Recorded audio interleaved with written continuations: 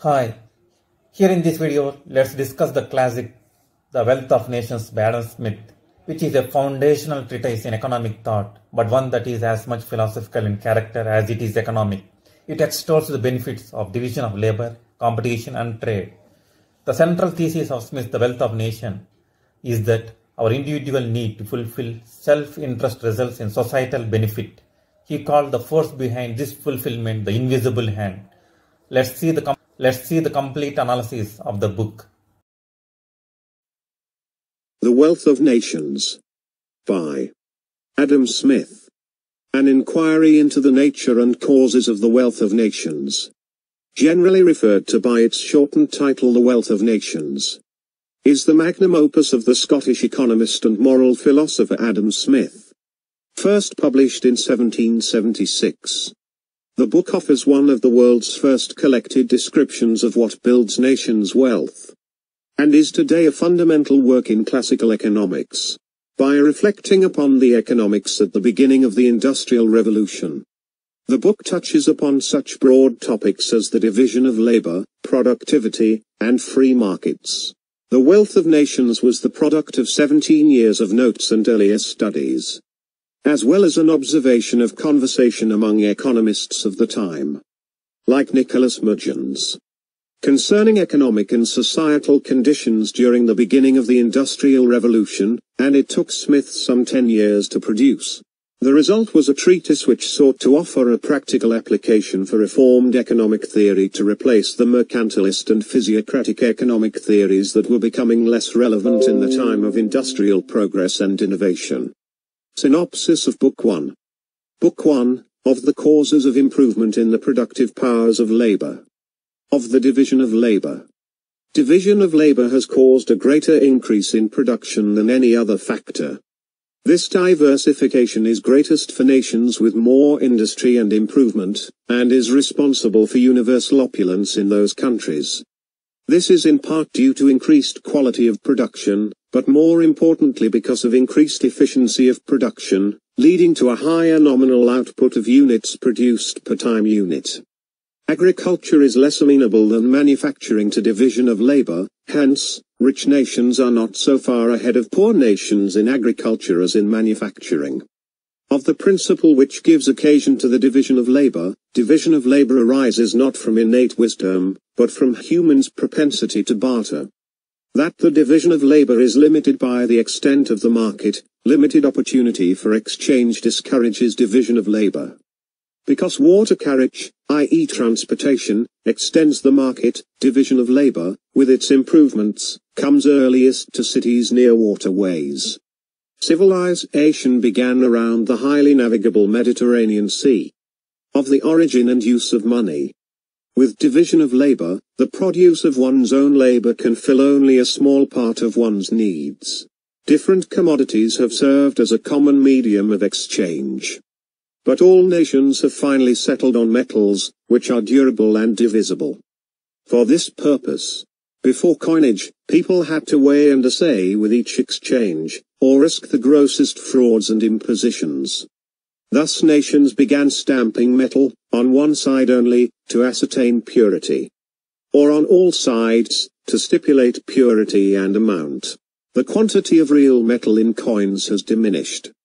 Due to the avarice and injustice of princes and sovereign states enabling them to pay their debts in appearance only, and to the defraudment of creditors. Of the wages of labor. In this section, Smith describes how the wages of labor are dictated primarily by the competition among laborers and masters. When laborers bid against one another for limited opportunities for employment, the wages of labor collectively fall. Whereas when employers compete against one another for limited supplies of labor, the wages of labor collectively rise. However, this process of competition is often circumvented by combinations among laborers and among masters. When laborers combine and no longer bid against one another, their wages rise, whereas when masters combine, wages fall. In Smith's day, organized labor was dealt with very harshly by the law. Smith himself wrote about the severity of such laws against worker actions. and made a point to contrast the clamor of the masters against workers' associations. While associations and collusions of the masters are never heard by the people though such actions are always and everywhere taking place. We rarely hear, it has been said, of the combinations of masters, though frequently of those of workmen. But whoever imagines, upon this account, that masters rarely combine, is as ignorant of the world as of the subject. Masters are always and everywhere in a sort of tacit, but constant and uniform, combination, not to raise the wages of labor above their actual rate. Masters, too, sometimes enter into particular combinations to sink the wages of labor even below this rate. These are always conducted with the utmost silence and secrecy till the moment of execution. And when the workmen yield, as they sometimes do without resistance, though severely felt by them, they are never heard of by other people. In contrast, when workers combine, the masters never cease to call aloud for the assistance of the civil magistrate and the rigorous execution of those laws which have been enacted with so much severity against the combination of servants, laborers, and journeymen. In societies where the amount of labor exceeds the amount of revenue available for waged labor, competition among workers is greater than the competition among employers, and wages fall. Conversely, where revenue is abundant, labor wages rise. Smith argues that, therefore, Labor wages only rise as a result of greater revenue disposed to pay for labor. Smith thought labor the same as any other commodity in this respect. The demand for men, like that for any other commodity, necessarily regulates the production of men, quickens it when it goes on too slowly, and stops it when it advances too fast. It is this demand which regulates and determines the state of propagation in all the different countries of the world, in North America, in Europe, and in China. Which renders it rapidly progressive in the first, slow and gradual in the second, and altogether stationary in the last. However, the amount of revenue must increase constantly in proportion to the amount of labor for wages to remain high. Smith illustrates this by juxtaposing England with the North American colonies. In England, there is more revenue than in the colonies. But wages are lower, because more workers flock to new employment opportunities caused by the large amount of revenue. So workers eventually compete against each other as much as they did before.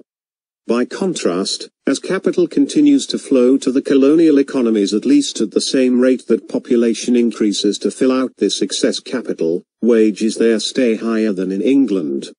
Smith was highly concerned about the problems of poverty. He writes, Poverty, though it does not prevent the generation, is extremely unfavorable to the rearing of children.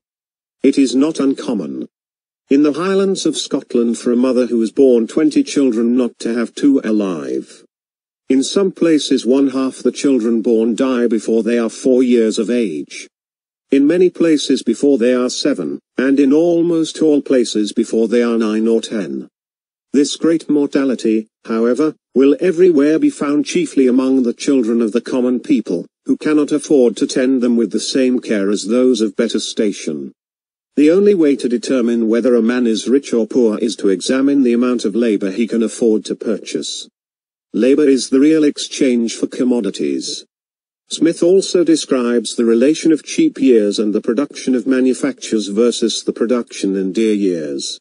He argues that while some examples, such as the linen production in France, show a correlation, another example in Scotland shows the opposite. He concludes that there are too many variables to make any statement about this. Of the profits of stock, in this chapter, Smith uses interest rates as an indicator of the profits of stock. This is because interest can only be paid with the profits of stock. And so creditors will be able to raise rates in proportion to the increase or decrease of the profits of their debtors. Smith argues that the profits of stock are inversely proportional to the wages of labor.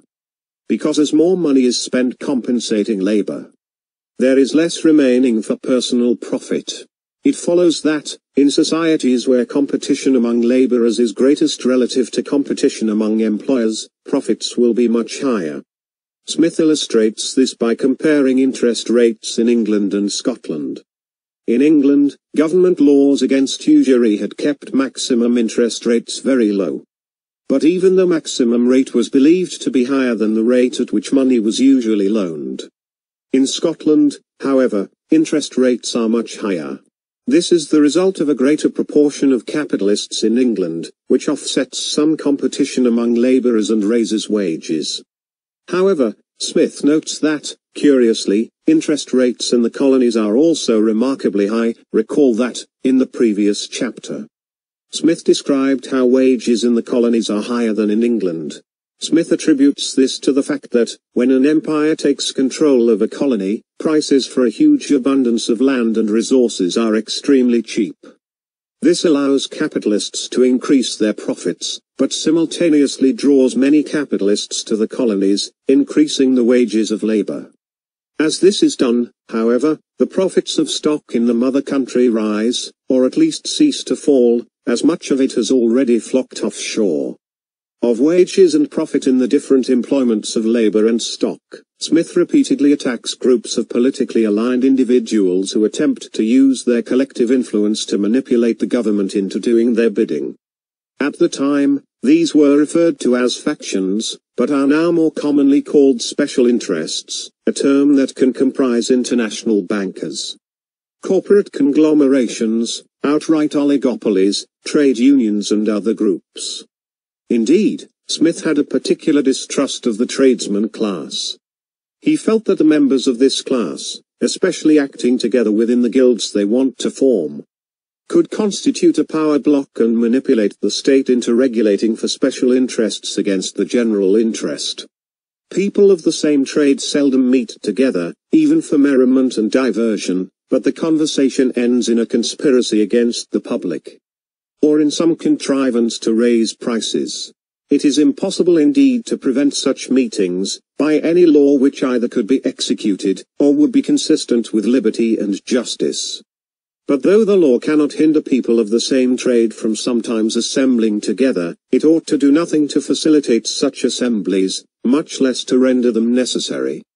Smith also argues against government subsidies of certain trades.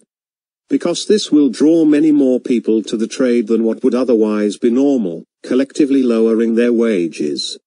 Chapter 10, Part 2, motivates an understanding of the idea of feudalism. Of the rent of the land, rent, considered as the price paid for the use of land, is naturally the highest the tenant can afford in the actual circumstances of the land. In adjusting lease terms, the landlord endeavors to leave him no greater share of the produce than what is sufficient to keep up the stock from which he furnishes the seed, pays the labor, and purchases and maintains the cattle and other instruments of husbandry, together with the ordinary profits of farming stock in the neighborhood. This is evidently the smallest share with which the tenant can content himself without being a loser, and the landlord seldom means to leave him any more. Whatever part of the produce, or, what is the same thing, whatever part of its price, is over and above this share, he naturally endeavors to reserve to himself as the rent of his land, which is evidently the highest the tenant can afford to pay in the actual circumstances of the land. Sometimes, indeed, the liberality, more frequently the ignorance, of the landlord makes him accept of somewhat less than this portion, and sometimes too, though more rarely, the ignorance of the tenant makes him undertake to pay somewhat more, or to content himself with somewhat less, than the ordinary profits of farming stock in the neighborhood. This portion, however, may still be considered as the natural rent of land, or the rent for which it is naturally meant that land should for the most part be let. Book 2. Of the nature, accumulation, and employment of stock. Of the division of stock. When the stock which a man possesses is no more than sufficient to maintain him for a few days or a few weeks, he seldom thinks of deriving any revenue from it. He consumes it as sparingly as he can, and endeavors by his labor to acquire something which may supply its place before it be consumed altogether. His revenue is, in this case, derived from his labor only. This is the state of the greater part of the laboring poor in all countries. But when he possesses stock sufficient to maintain him for months or years, he naturally endeavors to derive a revenue from the greater part of it. Reserving only so much for his immediate consumption as may maintain him till this revenue begins to come in. His whole stock, therefore, is distinguished into two parts. That part which, he expects, is to afford him this revenue, is called his capital. Of money considered as a particular branch of the general stock of the society. From references of the first book, that the price of the greater part of commodities resolves itself into three parts, of which one pays the wages of the labor, another the profits of the stock, and a third the rent of the land which had been employed in producing and bringing them to market, that there are, indeed, some commodities of which the price is made up of two of those parts only, the wages of labor, and the profits of stock. And a very few in which it consists altogether in one, the wages of labor, but that the price of every commodity necessarily resolves itself into some one or other, or all of these three parts, every part of it which goes neither to rent nor to wages, being necessarily profit to somebody of the accumulation of capital, or of productive and unproductive labor. One sort of labor adds to the value of the subject upon which it is bestowed, there is another which has no such effect. The former, as it produces a value, may be called productive, the latter, unproductive labor. Thus the labor of a manufacturer adds, generally, to the value of the materials which he works upon, that of his own maintenance, and of his master's profit. The labor of a menial servant, on the contrary, adds to the value of nothing. Of stock lent at interest. The stock which is lent at interest is always considered as a capital by the lender. He expects that in due time it is to be restored to him. And that in the meantime the borrower is to pay him a certain annual rent for the use of it. The borrower may use it either as a capital, or as a stock reserved for immediate consumption. If he uses it as a capital, he employs it in the maintenance of productive laborers who reproduce the value with a profit.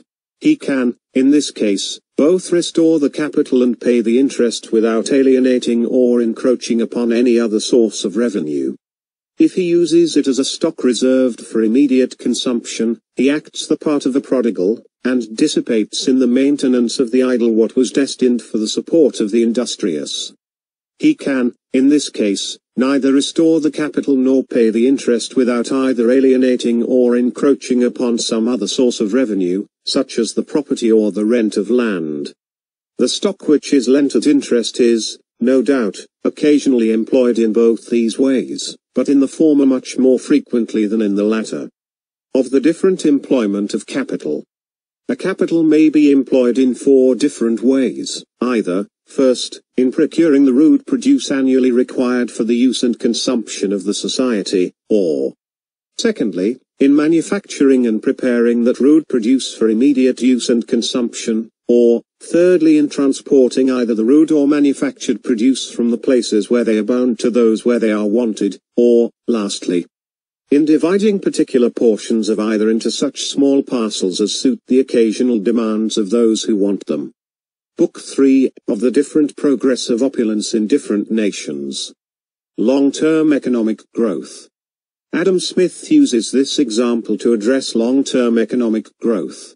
Smith states, as subsistence is, in the nature of things, prior to conveniency and luxury, so the industry which procures the former, must necessarily be prior to that which ministers to the latter.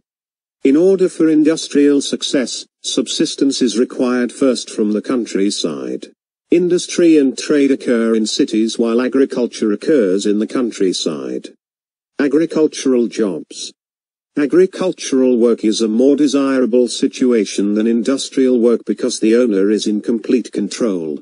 Smith states that in our North American colonies, where uncultivated land is still to be had upon easy terms, no manufactures for distant sale have ever yet been established in any of their towns.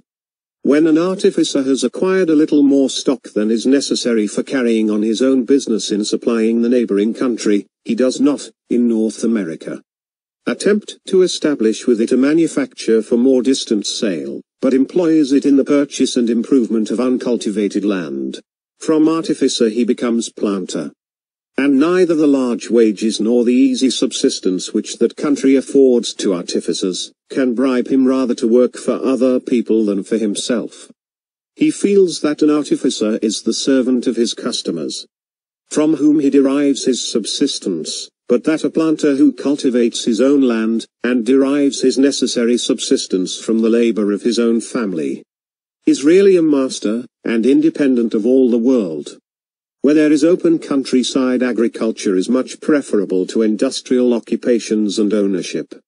Adam Smith goes on to say, According to the natural course of things, therefore, the greater part of the capital of every growing society is, first, directed to agriculture, afterwards to manufactures, and last of all to foreign commerce. This sequence leads to growth, and therefore opulence. The great commerce of every civilized society is that carried on between the inhabitants of the town and those of the country.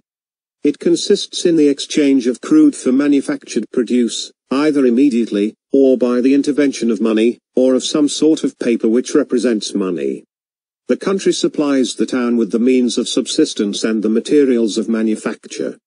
The town repays this supply by sending back a part of the manufactured produce to the inhabitants of the country. The town, in which there neither is nor can be any reproduction of substances, may very properly be said to gain its whole wealth and subsistence from the country. We must not, however, upon this account, imagine that the gain of the town is the loss of the country. The gains of both are mutual and reciprocal, and the division of labor is in this, as in all other cases, advantageous to all the different persons employed in the various occupations into which it is subdivided. Of the Discouragement of Agriculture, Chapter 2's long title is of the discouragement of agriculture in the ancient state of Europe after the fall of the Roman Empire. When the German and Scythian nations overran the western provinces of the Roman Empire, the confusions which followed so great a revolution lasted for several centuries.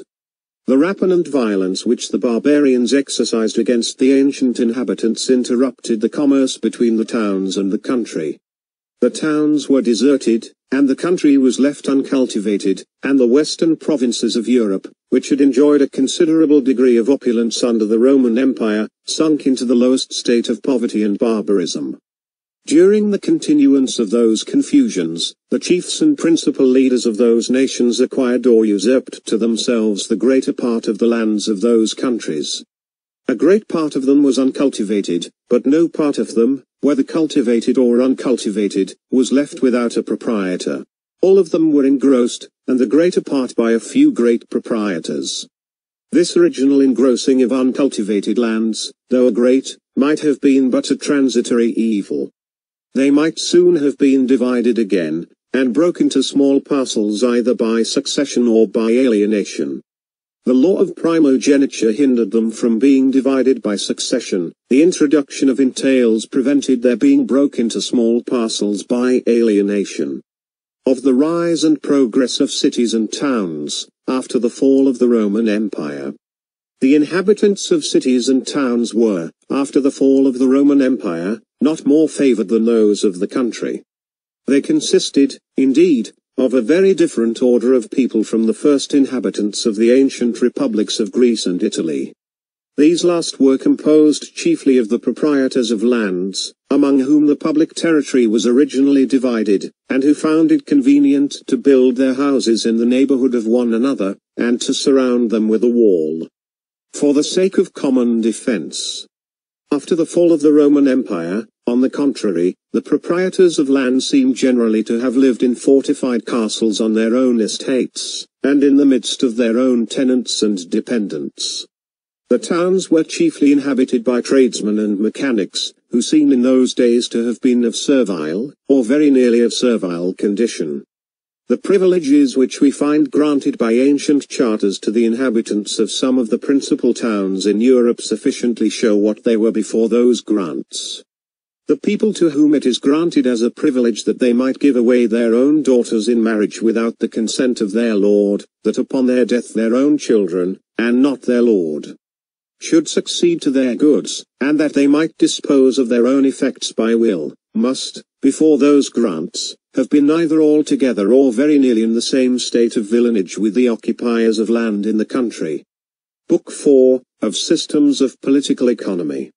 Smith vigorously attacked the antiquated government restrictions he thought hindered industrial expansion. In fact, he attacked most forms of government interference in the economic process, including tariffs, arguing that this creates inefficiency and high prices in the long run. It is believed that this theory influenced government legislation in later years, especially during the 19th century.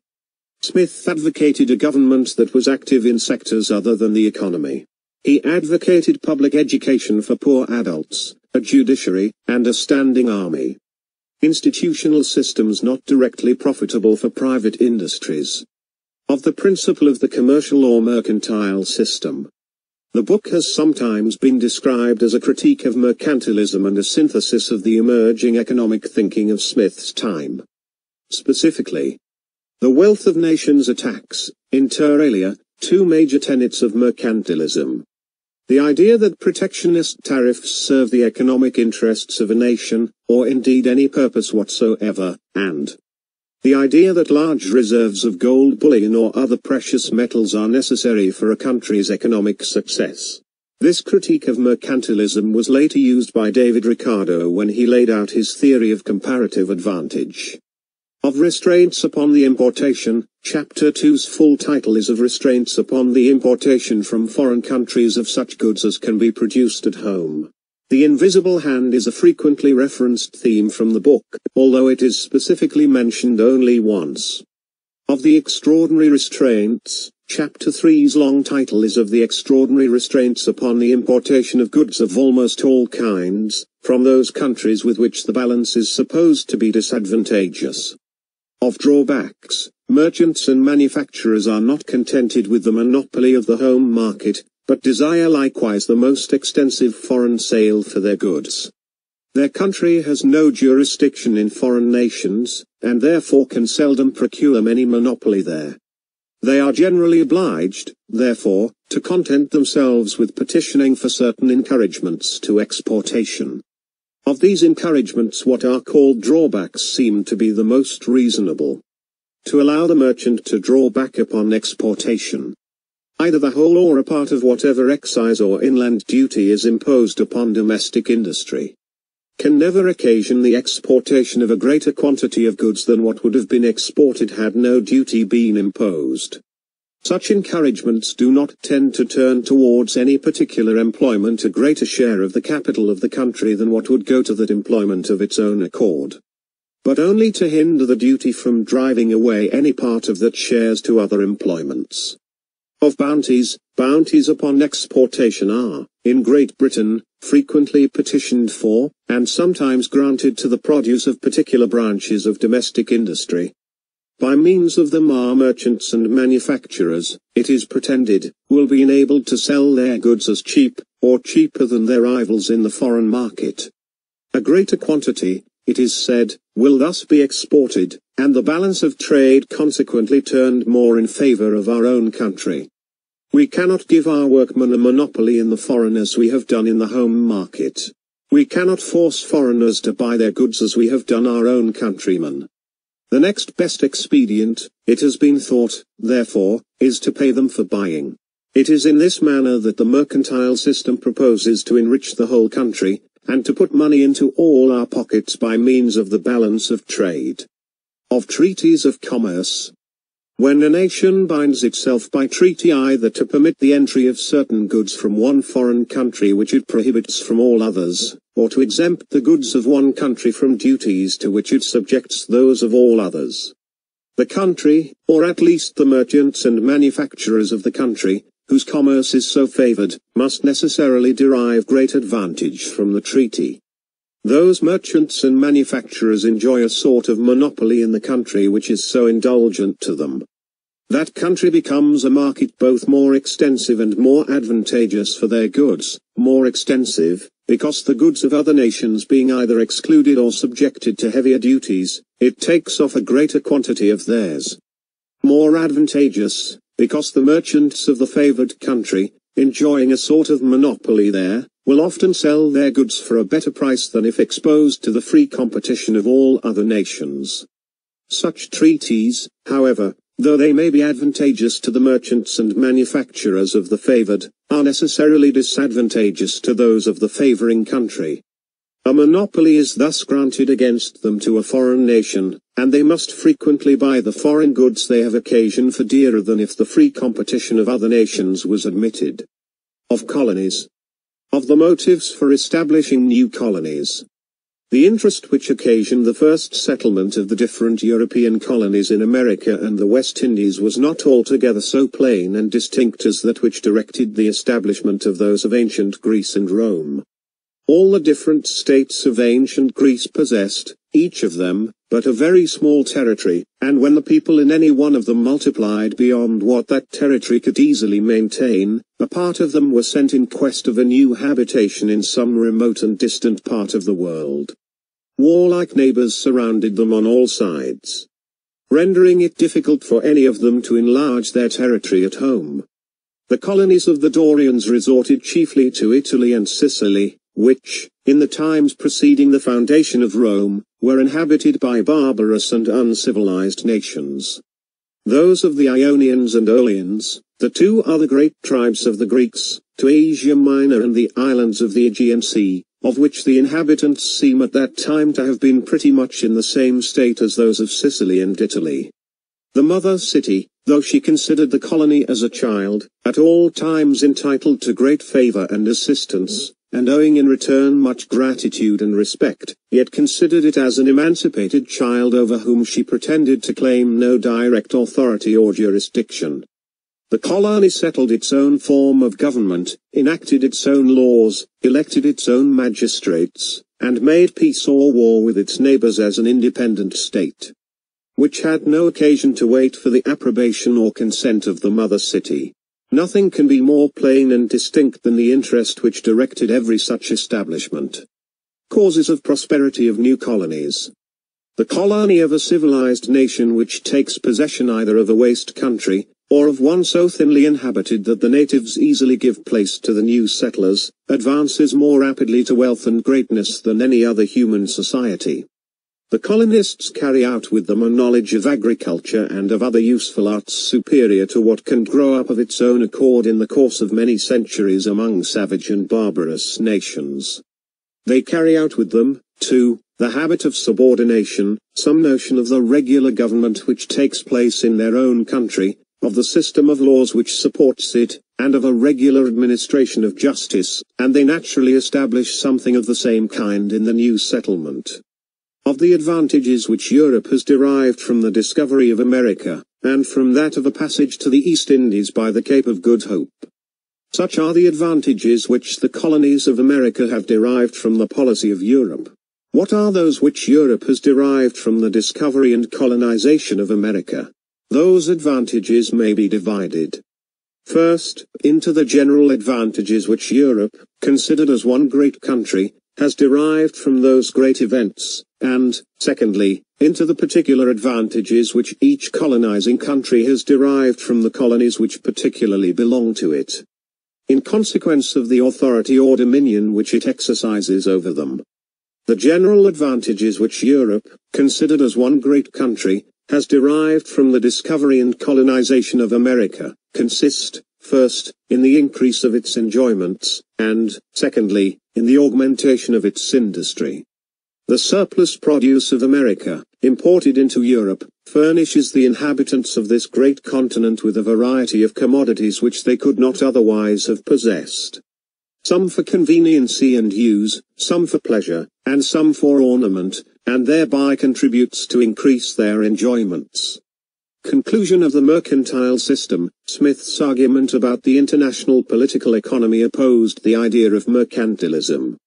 While the mercantile system encouraged each country to hoard gold, while trying to grasp hegemony, Smith argued that free trade eventually makes all actors better off. This argument is the modern free trade argument. Of the agricultural systems, Chapter 9's long title is of the agricultural systems, or of those systems of political economy, which represent the produce of land, as either the sole or the principal, source of the revenue and wealth of every country. That system which represents the produce of land as the sole source of the revenue and wealth of every country has, so far as by that time, never been adopted by any nation, and it at present exists only in the speculations of a few men of great learning and ingenuity in France. It would not, surely, be worthwhile to examine at great length the errors of a system which never has done, and probably never will do, any harm in any part of the world. Book 5, of the revenue of the sovereign or commonwealth. Smith postulated four maxims of taxation, proportionality, transparency, convenience, and efficiency. Some economists interpret Smith's opposition to taxes on transfers of money, such as the Stamp Act, as opposition to capital gains taxes, which did not exist in the 18th century. Other economists credit Smith as one of the first to advocate a progressive tax. Smith wrote, The necessaries of life occasion the great expense of the poor. They find it difficult to get food, and the greater part of their little revenue is spent in getting it. The luxuries and vanities of life occasion the principal expense of the rich, and a magnificent house embellishes and sets off to the best advantage all the other luxuries and vanities which they possess. A tax upon house rents, therefore, would in general fall heaviest upon the rich, and in this sort of inequality there would not, perhaps, be anything very unreasonable. It is not very unreasonable that the rich should contribute to the public expense, not only in proportion to their revenue, but something more than in that proportion Smith believed that an even more proper source of progressive taxation than property taxes was ground rent.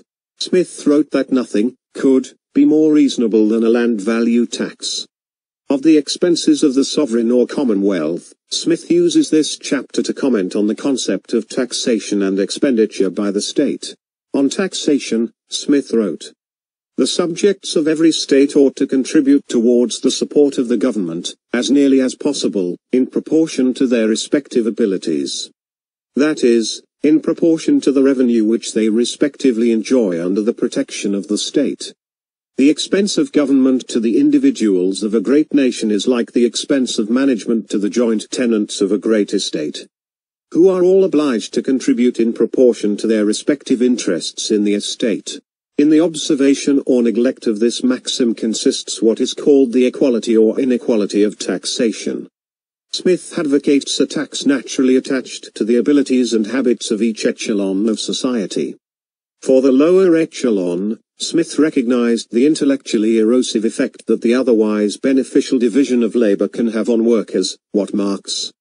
Though he mainly opposes Smith, later named alienation, therefore, Smith warns of the consequence of government failing to fulfill its proper role, which is to preserve against the innate tendency of human society to fall apart.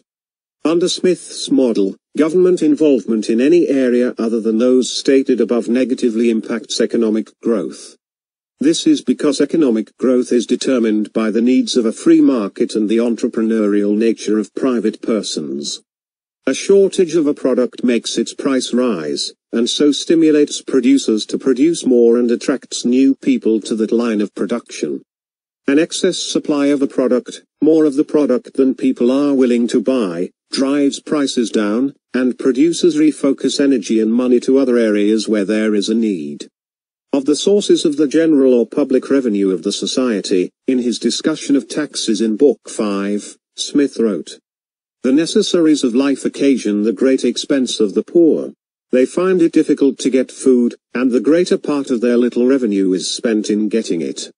The luxuries and vanities of life occasion the principal expense of the rich, and a magnificent house embellishes and sets off to the best advantage all the other luxuries and vanities which they possess. A tax upon house rents, therefore, would in general fall heaviest upon the rich. And in this sort of inequality there would not, perhaps, be anything very unreasonable. It is not very unreasonable that the rich should contribute to the public expense, not only in proportion to their revenue, but something more than in that proportion. He also introduced the distinction between a direct tax, and by implication an indirect tax, although he did not use the word indirect. Capitation taxes, so far as they are levied upon the lower ranks of people, are direct taxes upon the wages of labor, and are attended with all the inconveniences of such taxes. And further, it is thus that a tax upon the necessaries of life operates exactly in the same manner as a direct tax upon the wages of labor. This term was later used in United States. Article I, Section 2. Clause 3 of the U.S. Constitution, and James Madison, who wrote much of the Constitution, is known to have read Smith's book of War and Public Debts. When war comes, politicians are both unwilling and unable to increase their tax revenue in proportion to the increase of their expense. They are unwilling for fear of offending the people, who, by so great and so sudden an increase of taxes, would soon be disgusted with the war. The facility of borrowing delivers them from the embarrassment. By means of borrowing they are enabled, with a very moderate increase of taxes, to raise, from year to year, money sufficient for carrying on the war. And by the practice of perpetually funding they are enabled, with the smallest possible increase of taxes, to pay the interest on the debt to raise annually the largest possible sum of money, to fund the war. The return of peace, indeed, seldom relieves them from the greater part of the taxes imposed during the war. These are mortgaged for the interest of the debt contracted in order to carry it on. Smith then goes on to say that even if money was set aside from future revenues to pay for the debts of war, it seldom actually gets used to pay down the debt. Politicians are inclined to spend the money on some other scheme that will win the favor of their constituents. Hence, interest payments rise and war debts continue to grow larger. Well beyond the end of the war. Summing up. If governments can borrow without check, then they are more likely to wage war without check. And the costs of the war spending will burden future generations since war debts are almost never repaid by the generations that incurred them. End of the topic. Thank